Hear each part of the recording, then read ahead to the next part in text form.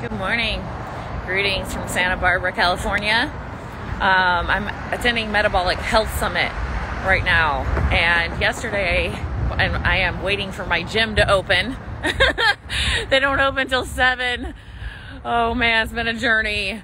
I got here at 5:30, drove to another part of town to two gyms that said they were open, weren't open I found one that was open, but it was like really scary. I was like, there were like cha- bars on the windows, and you had to like go down. I, I got scared. I left.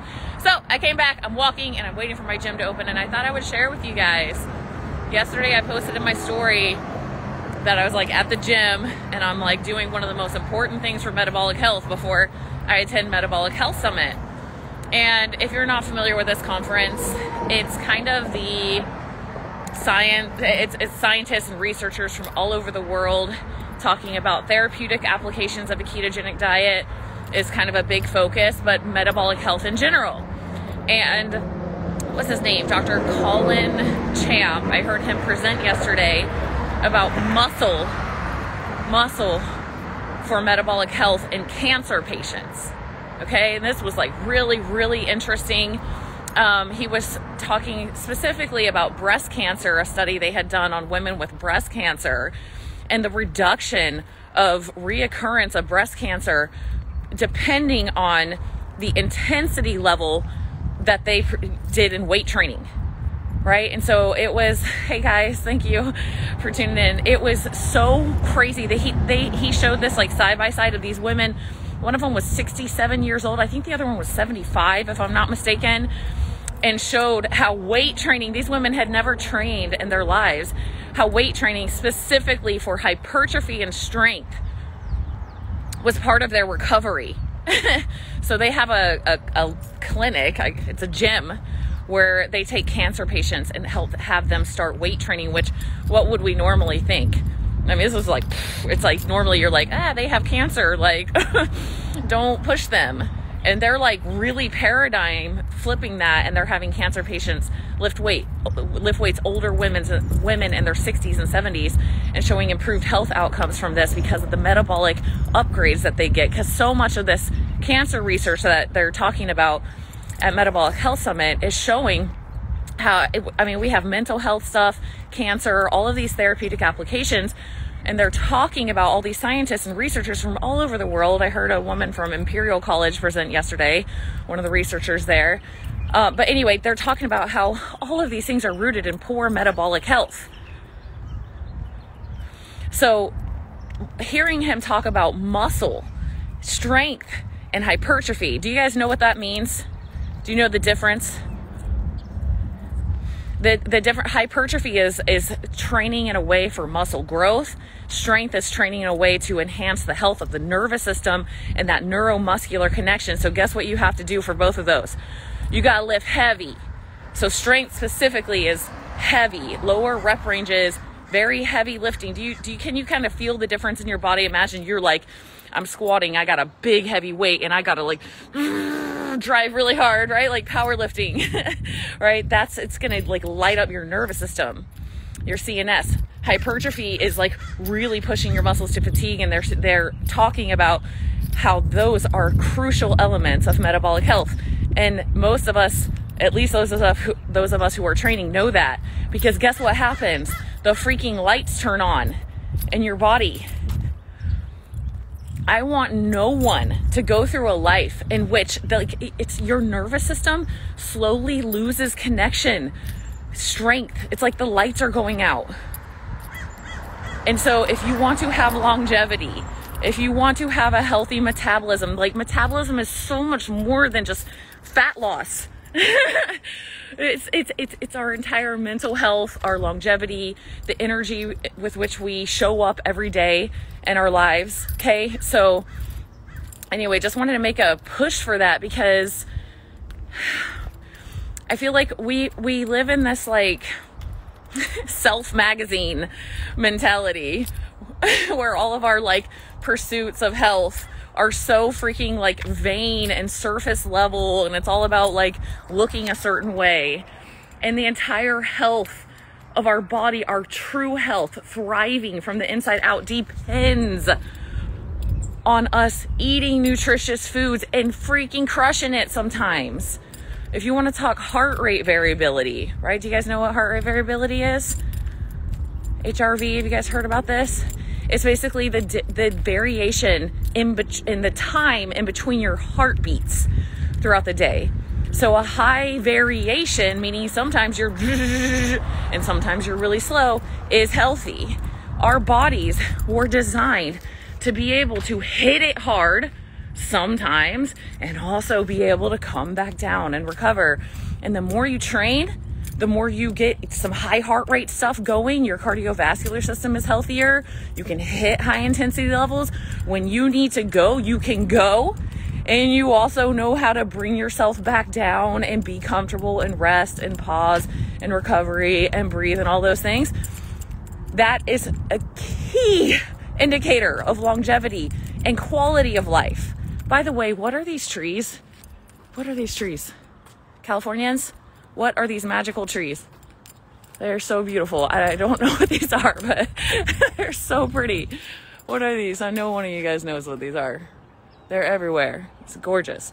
Um, so just wanted to share that with you guys that like I mean this is a cancer these are cancer researchers talking about the importance of strength and hypertrophy for disease prevention. So much of my focus these days in health coaching is is around the nervous system and and having a regulated nervous system. What does that mean? That means yes, you can go in fight or flight mode. You can hit it you can freaking go when you need to go, and you can also come back down, just like I'm talking about with HRV. And guess what? Emotions. Gosh, California. Gosh, so pretty here. Oh my gosh, look at this. That is so pretty. Okay, wow. Um, so emotions are a big part of that too. But guess what? You, have you guys ever heard about how like when you smile, just the even if you're like feeling down and blue, just the act of smiling can release happy chemicals into your body. Everything in the body is a two way. It's like comes and goes like this, right? So when we, I'm, I'm correlating this with when we show ourselves that we can push through uncomfortable physical stressors, it impacts us emotionally too. Oh my gosh, there's like a freaking blue jay right here. I'm just dying. California, Oh my gosh, the thing's beautiful. Okay, sorry. so, when you're able to sit through a cold shower or cold immersion or push yourself through a really intense workout, you increase the adaptability of your stress response and it will impact you emotionally as well. I sat and do you guys know Dr. Fit and Fabulous, Jamie Seeman, and her husband Ben Sergeant Fit and Fabulous? The three of us sat and talked for a long time yesterday. We were just sitting there talking for a couple hours and um, Jamie's husband is a cop, and he was talking about how resilient. I sorry, this may be a little weird, but he was talking about um, how resilient like a lot of the homeless population is, like their adaptability to stress, like physical stressors of being out and cold, out in Omaha, Nebraska, right? And I was thinking about that, and I was like, wow, yeah, that makes sense, man they're out in the elements all the time. Their bodies are like adapting to be able to withstand these kind of stressors. Interesting, right? I don't know, it kind of got me thinking. And I think it's so important if you're just like life is just like right here all the time. You're never pushing any sort of limits. You're never you're not building stress tolerance. You're not building resiliency. So like think about that in terms of longevity. Think about, okay, maybe you're 35 right now, maybe you're 45. Someday you're going to be 85. So if all these years, all these decades, you're just sitting there like at this level all the time, what happens when you got to go do something hard when you're 80? You can't anymore. You have not built any sort of stress tolerance to it. And we know we have enough examples now of some older people who have, you know, Kathy Smith is a great example. Do you guys know Kathy Smith? I think Kathy is 67, if I'm not mistaken. She used to be like a fitness icon back in the 80s and 90s. I know Kathy, I'm gonna turn around. I know Kathy because she lives in Utah where I live and she's so freaking inspiring. She's the same age as my mom. They're almost the exact same age. My mom, like, kind of let go of health. She was like this all star athlete, track athlete. She let go of health. She developed type 2 diabetes. She became obese. She didn't exercise. She didn't eat good food. And my mom is in a nursing facility. She's had a stroke. She can't walk anymore. It sucks, right? And Kathy, I, I kind of look at her life trajectory, and she's the same age as my mom. And she just kept training. She just kept working out. She kept eating healthy. She kept pursuing, she's very like way into mindset and all that stuff too. And Kathy can kick my ass in the gym. She's, I'm like, oh my god, I can't even do that, girl. She's going across like those like Muscle Beach type rings and doing toes to bar and box jumps at 67 years old. Right? And it's fascinating to me. I'm like, wow, that's possible when you take care of yourself and you push yourself and you're willing to go into these high intensities and also recover and also nourish and also rest and all these things. It's crucial for longevity. And I'm grateful for the examples that we have out there people who are doing that into their 60s and 70s now because we know that's possible. Thanks for being thanks for being a light. Thanks for being teachers. So anyway, um this morning I it's been a little bit of shit show, I'm not gonna lie. Because I did not this is my bad, but I did not check to see if the Gold's Gym that I got my little pass to while I'm out here was open early on Saturday and they're not. they're not open until seven. So I've been like driving around trying to find a gym and all this stuff. And I, you know, sometimes people will say to me like, "Oh, I just need to be more consistent. I just gotta make myself do it." I'm like, that's not, that's not where it's at. When you can find joy in it, get yourself some good music. Be proactive about a playlist that you like. Keep finding it, right? Like get good shoes, clothes. These are Vivos. I know people have asked me like crazy. These are Vivo barefoots. I love Vivo. I do rep Vivo, so there's a coupon code on my website if you want Vivos. It's kind of, they're amazing barefoot shoes. I love, I got my comfy workout clothes. I love going in there, having fun, getting my pre-workout going, my jams. It's like heaven. I love it. And I love seeing what I'm capable of. It's not like, oh, I got to go work out so I don't get fat.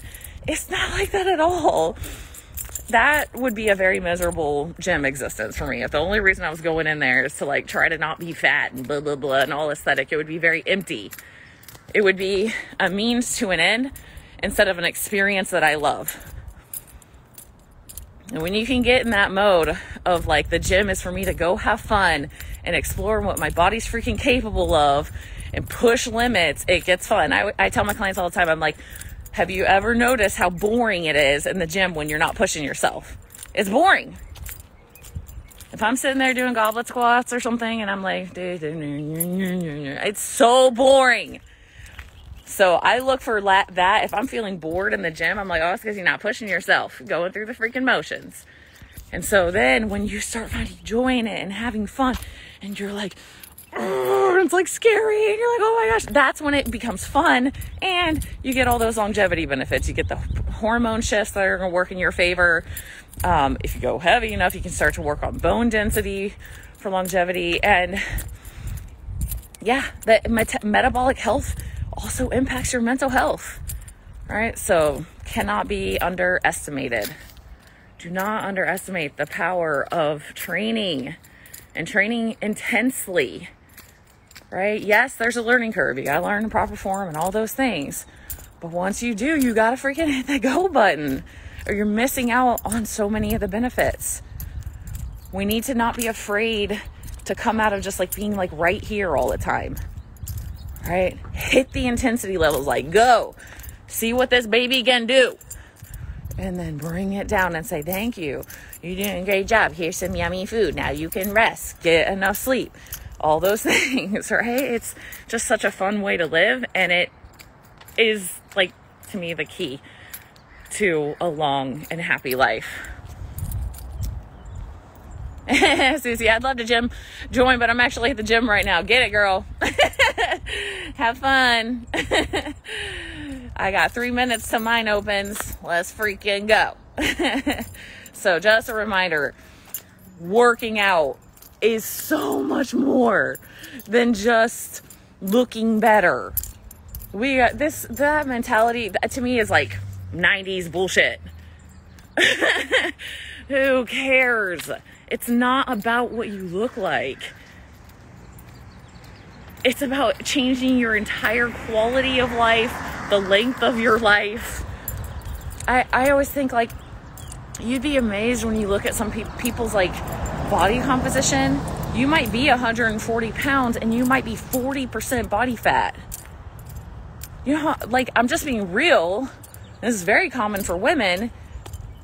Do you know how much harder that's making your life? Like just going around on the daily when you can't, like everything is harder because you have no muscle, right? You're like carrying, you're like dragging your body around instead of like, boom, let's go, right?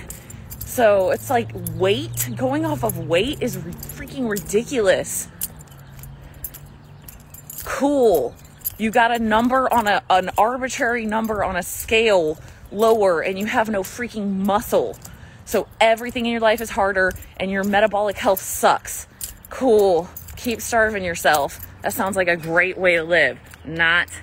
And now you've become dependent on cardio and these low level, you know, chronic cardio, no intensity things just so you don't get fat.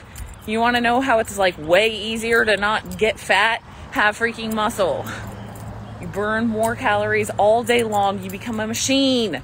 You become a freaking machine. That's why people make fun of me. I get it all the time and I like it. I like it. Um, when I'm on trips with people, they're like, girl, you can freaking take down the food. I'm like, yes, I can. I'm like, I gotta feed the machine. okay. So don't be afraid of that. We cannot, especially women. It breaks my freaking heart. We've been so indoctrinated, so brainwashed that we should just literally practically like try our hardest to just like wither away and disappear. And it's killing our women. It's not about being skinny. It's fucking bullshit. It makes me mad. Yes, I must swear. Because it's destroying our health. We want our bodies to thrive. And in order to thrive, we need nutrients. And when you can only eat a thousand calories a day without getting fat because you have no freaking muscle and you're never hitting intensity levels, how are you going to get all those nutrients in? You're not. Good luck. So go be a bad A. Go push yourself. Your entire quality of life and length of your life depends on it. Um,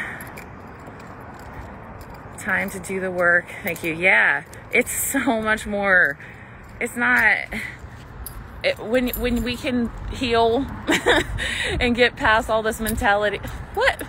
Are we serious right now? Look at these things. They're like huge. Like this is my hand.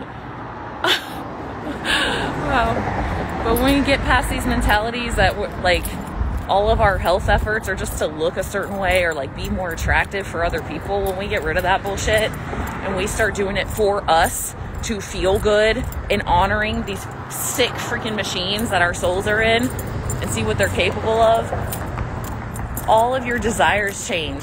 Uh, food, I'm like, yesterday I was really hungry. I had a lot. I was just like, I'm freaking hungry. Okay. And, and, but my desires were nutrients, nutrients, nutrients. I don't even want crap because I want my body to thrive. I'm getting that mentality, it just gets so much easier. Shona, go crush it, girl.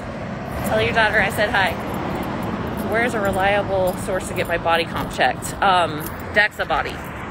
If you are lucky enough to have a DEXA body where you live, DEXA scans are where it's at for body composition testing. All right, that's all. My gym's open now. I'm gonna go crush it. all right, have a good day, guys. Bye.